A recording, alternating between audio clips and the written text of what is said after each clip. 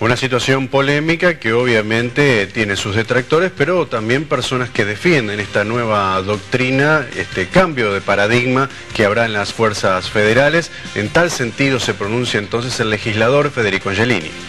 La disposición habilita al efectivo de la fuerza a utilizar el arma de fuego en diferentes ocasiones, inclusive si intenta huir del lugar donde fue sorprendido. Angelini descartó la posibilidad de que esta medida habilite los casos de gatillo fácil, ya que consideró que los uniformados están capacitados para actuar como corresponde. Es darle mayor poder de acción a las fuerzas de seguridad. Y esto es fundamental en la lucha que estamos teniendo contra el narcotráfico.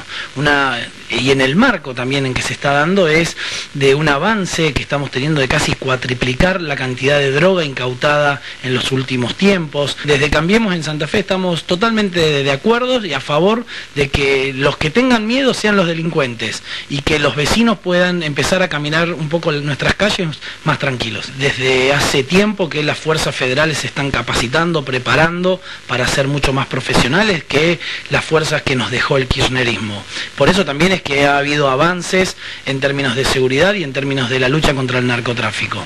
También en el marco de que hoy las fuerzas policiales tienen un nivel muy bajo de defensa frente a los delincuentes. Hoy el que tiene el poder parecería ser que es el criminal, el, aquel que tiene la posibilidad de asesinar y no la fuerza de seguridad que tiene que defender a los vecinos. Pero no piensa lo mismo de la policía de Santa Fe.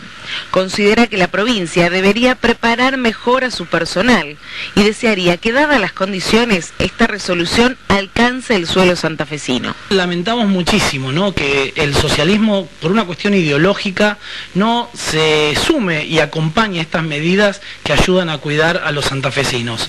Por otro lado, eh, nosotros venimos diciendo desde hace tiempo que la policía de Santa Fe necesita de este proceso que sí tuvieron las fuerzas federales de una reestructuración muy profunda, que no no, aparezcan cada vez que hay una investigación de la justicia federal o de las fuerzas federales un policía de la provincia involucrado en acciones delictivas, eh, que haya una mejor preparación de los policías de Santa Fe. Entonces, a partir de ahí se pueden implementar este tipo de protocolos que hoy lamentablemente en Santa Fe no se aplican.